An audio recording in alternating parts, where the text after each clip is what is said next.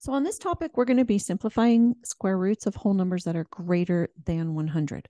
So 180 is definitely greater than 100. And we're going to rewrite it as prime numbers. So to do to find all the prime numbers, you start by finding two numbers that multiply to get 180.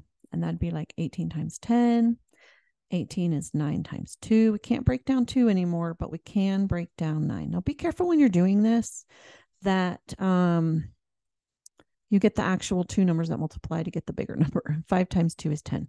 And if you're uh, not quite sure you did it right, you can multiply three times three times two times five times two, and you'll see that you get 180.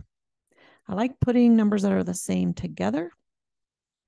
When we have groups of two numbers, one of them can come out. It's like saying the square root of nine is three, the square root of four is two, but that's Five doesn't have a pair, so it stays inside. We simplify by multiplying the three and the two on the outside, and we get six square roots of five. All right, we're going to do another one. Um, this one is the square root of 189. If I add 1, 8, and 9, I know that 9 goes into that number because you get 18. Uh, 9 plus, you get 18. So I know that 9 goes into this, let me guess, 21 times. Yeah. So 9 is 3 times 3, 21 is 3 times 7.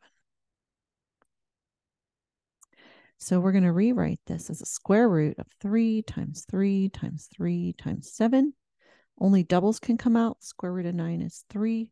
And we're left with 3 times 7 on the inside, which is 21. So we will have as our answer 3 square root 21.